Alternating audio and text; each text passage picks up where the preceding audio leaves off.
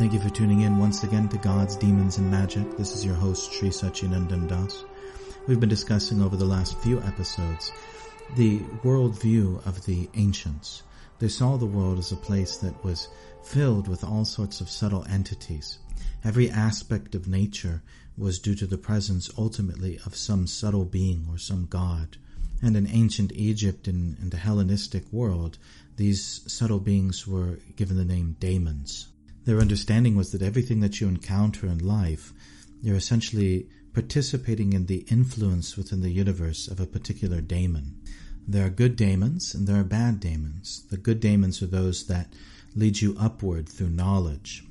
And they give you a kind of inner inspiration which allows you, when you follow it, to live more in harmony with the gods and the very structure and purpose of the universe, and to live more in harmony with your fate, essentially to become purified and move towards liberation from this material existence entirely. What would be termed the bad daemons, they're not necessarily evil, rather they are a lower classification of daemon or spirit being that control aspects of nature which degrade us or deprive us of knowledge, which lead us into darkness. And so the soul is seen as standing at a kind of a crossroads between these influences, these subtle entities. Some of the entities pull one upwards and some of them drag one down. If you choose to meditate on lower qualities such as lust or anger or greed, then what you're doing is you're meditating on that aspect of the universe which is predominated and controlled by a lower form of demonic or subtle energy. Say, for example, you're an Egyptian priest or some sort of spiritual aspirant, and you may find yourself at times struggling with lust, you know, intense sexual desire, which is uh, it's outside the bounds of religion. Maybe you're a married man or woman and you're attracted to someone who's not your husband or wife. So, whereas in the modern context, an individual, you know, religious person experiencing that will understand that this is lust and I have to strive against it. I don't want to surrender to this. But they don't necessarily see it as the influence of some sort of daemon or being. Whereas what the ancients saw was, you know, when I feel my mind and senses being filled with these desires, and I feel myself being sort of dragged down into this lower path of life, this destructive path of life, this path which is uh, a kind of darkness covering my spiritual truth, my spiritual knowledge, and, and sort of confining my consciousness into lower impulses.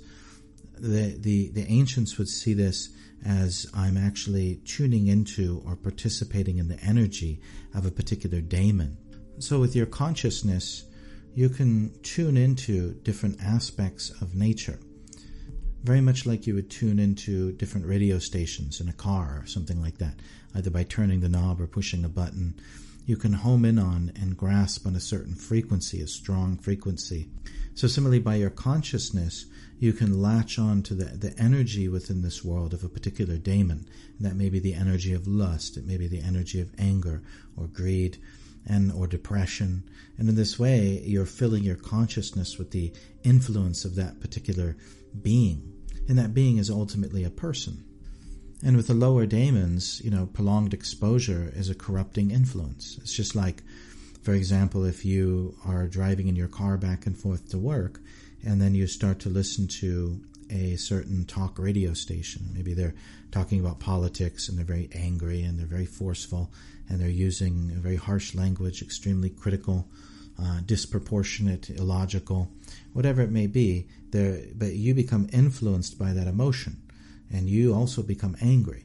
You know, and you also begin to take on the qualities of that person that you're listening to, and they their view of the world begins to predominate your own.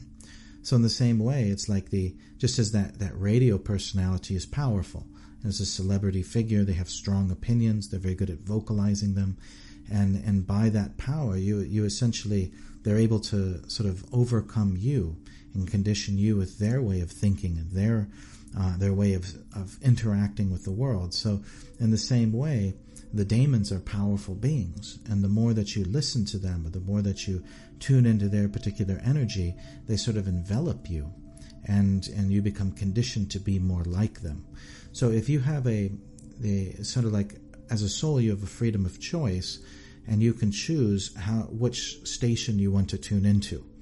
And just like if you're sitting in your car, you have a choice who you're going to listen to. This mystical religious tradition then advises you to listen to the good daemons, to tune into their frequency, and to become sort of conditioned by their uh, association. And their good association leads you upwards. Now, I live in California. Oftentimes, I drive to the Central Valley, and uh, there's a lot of Christian religious programming on the radio, and I'll listen to it. And uh, and so you, know, you hear these Christian preachers are giving their particular perspective on the world, and, and it's very nice. But you can imagine, what if you actually went to one of their churches and you actually knew them personally and they were invested in your life? Like they, they were individuals that you didn't just meet on Sunday, but you actually, they're, they're almost like family. Like they come over and say hello and, and you've known them for 20, 30 years, or in fact, you've known them your entire life. Say, for example, you had a, a preacher or a priest who's really been there since your birth and has taken an interest in you since you were a small child and knows your parents, knows your grandparents, and is really someone who is very closely and intimately tied to your life. So, in the same way, there's the frequency of the personal daemon. You know, there's a there's a daemon which has been assigned to you at birth, and that particular daemon is very much tied to your life and tied to the fate that you experience within this world. And so you might say it's, it's quite easy to then go into their divine association or be uplifted by them because you have such a personal connection to them. And so the general understanding is that the universe is filled with these subtle entities. Some uplift you and some degrade you. Now, the ones that degrade you, they're not necessarily evil or bad or even antagonistic to the sort of hierarchy of, of creation, of, of the gods and of God. Rather, they are, in a sense, out of harmony.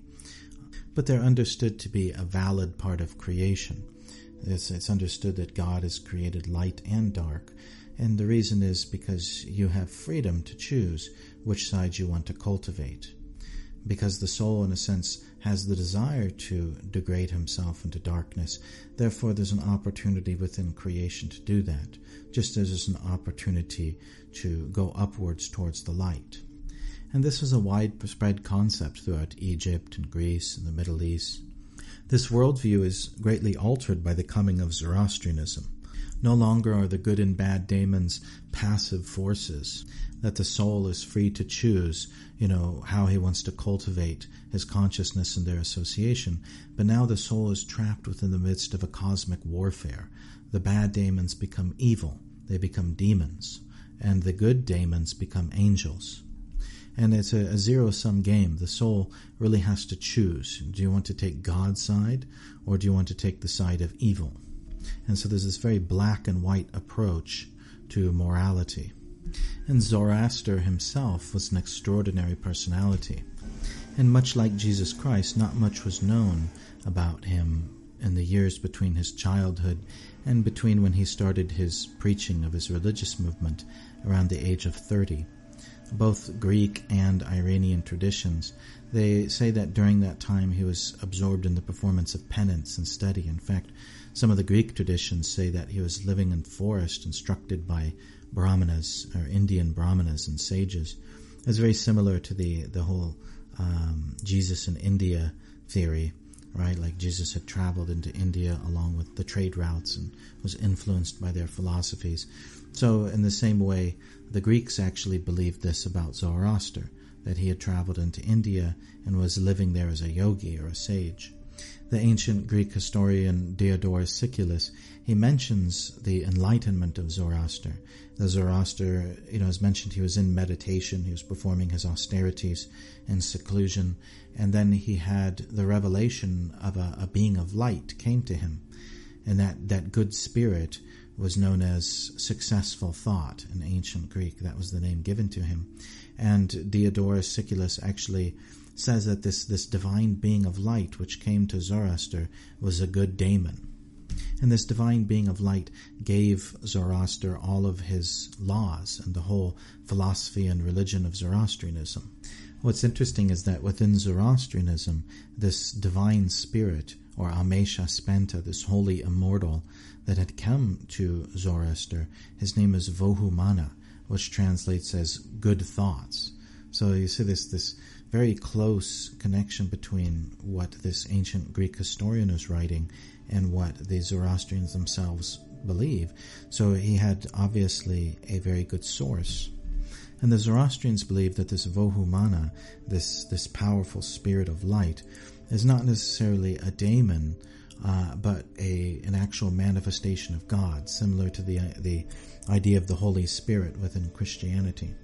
They believe that Ahura Mazda, who's the one supreme, beneficent, transcendent God, uh, he manifests himself into the world in different expansions or uh, of his energy, of his power, of his qualities.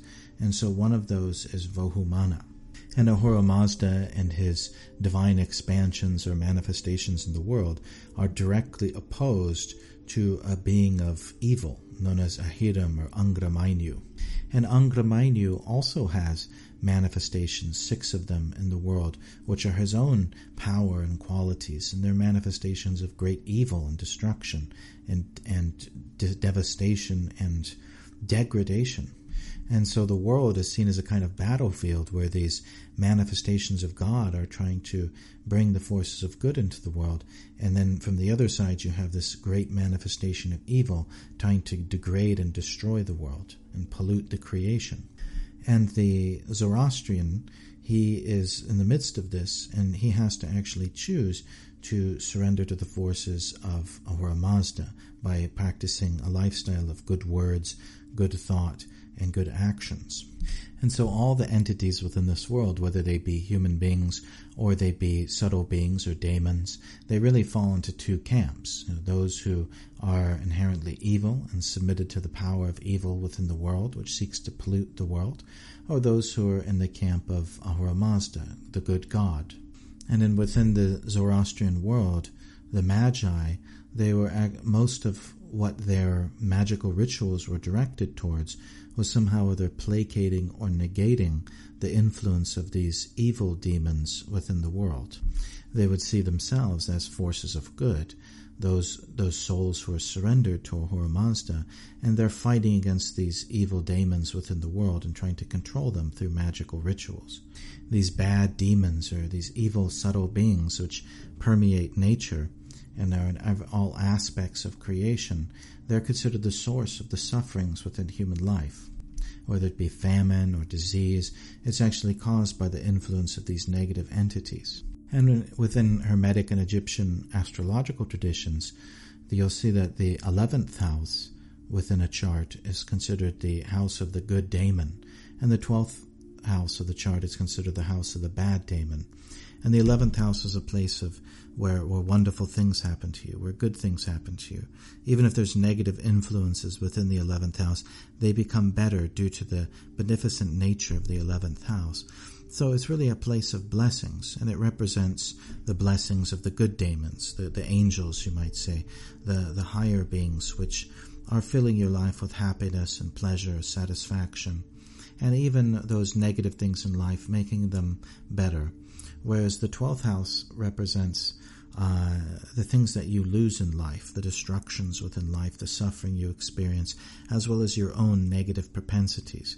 Just as, you know, you might say you're tuning into that negative daemon and developing its, its disharmonious nature within yourself. So the 12th house will show what your where you have the propensity to do that, where you have the propensity to become degraded. And so, you know, it'll show those things in life where you suffer because you degrade yourself and you have a, a lower propensity. And so there's a very clear idea in the ancient world that the good daemons are giving you the happiness in life, and the bad daemons are the source of suffering and misery, misery and tragedy.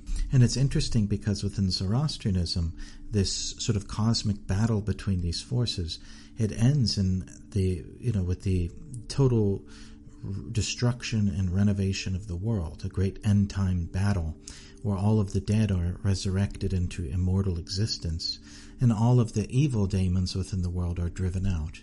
So whereas the, the Hermetic and Egyptian traditions are really, it's seen as a process of moving through layers of consciousness, raising yourself uh, to higher and higher levels until you actually transcend the world or lead the world completely. These the Zoroastrian tradition was one of the evil being purged from the world and the world itself being a, becoming a kind of utopia. So, because the evil daemons or the bad daemons are defeated, there is no more famine, there is no more disease, there's no more suffering, essentially, and the world becomes one predominated only by the good daemons and filled with the power, the glory of Ahura Mazda. And you see also extreme traditions of dualism between good and evil arising within the Eastern Mediterranean with philosophies like Gnosticism.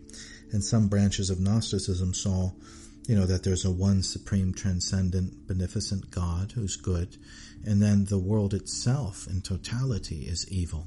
And all of the daemons within the world are bad daemons. And even the gods or the planet, which are traditionally considered the planets, they're also evil. And then the one creator God, who is sort of like the greatest of the daemons, he himself, the demiurge, is the, the, the greatest of the bad daemons. He's actually evil and the world has been constructed to cause suffering and misery to all those within it. And we're placed within this world, which is a kind of prison house, because we're rebellious against God. And the the planets themselves are almost like prison guards. They're they're considered evil, uh, demonic, and they're trying to actually hold you down. And they're really covering your consciousness in layers of their influence. So, in order to transcend and escape the prison house, you have to surrender to God. But you have to pass through the different spheres of the planets, just kind of like in the Platonic uh, cosmology, you have the the planets themselves are embedded in spheres, like a like a marble embedded in a, a glass orb, and then within one orb is another and another and another, and then the Earth is kind of at the center of these uh, consecutive spheres, and so you know the the the, the planets themselves are sort of binding you with their power. And so you have to transcend the sphere of Mercury. You have to overcome the, the influence of that demon known as Mercury. And then you have to transcend next, you know, the layer of Venus, and you have to overcome the influences of Venus upon your life and in your consciousness. And then you have to overcome the influence of Mars and strive above the different struggles and difficulties caused by the influence of that daemon. So in a sense, you're moving through the various walls of the prison house until finally you come to the final layer, the final sphere. And when you transcend that, then you enter into the abode of God and reach perfection. But the entire universe, this, this spherical prison house, is really meant for your punishment and rectification of your rebellious spirit. And not all of the systems of Gnosticism were quite that extreme. Some of them acknowledged that there were good daemons or good spirits within the world, uh, hierarchies of archangels and angels that are, you know, in conflict with hierarchies of demons. But even they are considered to be rebellious spirits. They're also prisoners, but they're just prisoners of a higher class. Just like in a prison house, you have, you know, cell block D or cell block A and uh, maybe A is not so bad. You know, they get to go outside or whatever. You know, they get to pick garbage in the forest, or you know, they have some some nice experience of prison life. But still, they're bound with within the same prison ultimately. So similarly, their idea was that the angels and archangels, they're rebellious souls just like the rest of us, but uh, they're of a higher character, higher level of consciousness. Um, but ultimately, just like we do, they must also surrender and then pass through the various walls of the prison house. And so we see that over time, different philosophies arose with a, a radically different idea about the universe. The universe itself being populated by practically unlimited subtle entities, daemons or spirits, supernatural influences, and the universe is composed of these influences, and we ourselves are in the midst of these influences with the ability to choose how we want to move, it becomes a world torn apart where the universe itself is a, a battlefield of cosmic forces, essentially fighting over rebelliousness or submission to God.